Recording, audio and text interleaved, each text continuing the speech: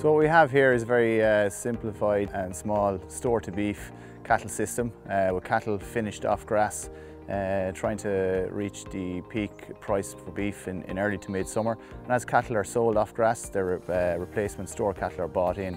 We also uh, raise through uh, about 15-20% of the finished stock come from uh, calves that are, we rear on farm. They're bought locally from uh, local dairy herds. Stock generally is made up of a mixture of Angus, Hereford and continental cattle, basically whatever value there is in the mart when the date of cattle are being uh, bought in.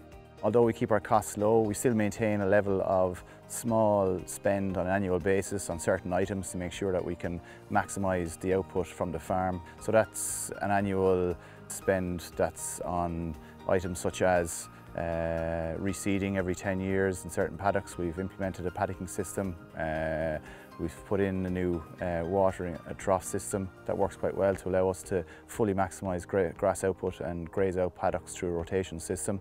Uh, we annually get our soil sampled, soil tested uh, to make sure our levels of fertility are at a, a good level, uh, required levels. We'll uh, lime certain fields as, as and when required.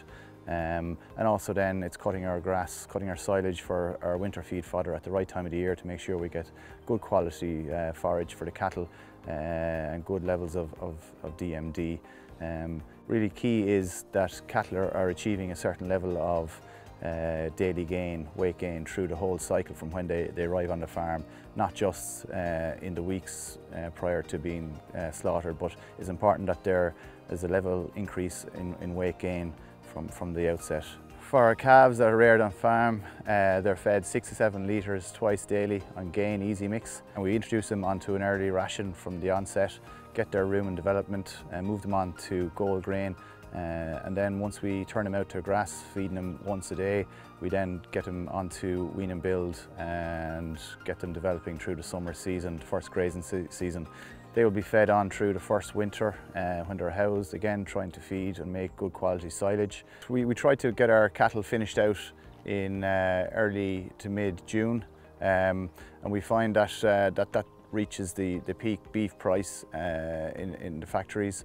And we really find that the feeding the concentrate levels really gives the cattle that extra push to get them finished out within the timelines. The beef herd that we have here and the, and the target animals that we buy in, it's the it's very much dictated by the genomics in the dairy herd. Um, most cattle we buy here are crossbred cattle, so um, the cattle coming out uh, of the sheds around Patrick's uh, Day, they'll settle on grass and we'll start to introduce the meal bin over the last uh, four to five weeks.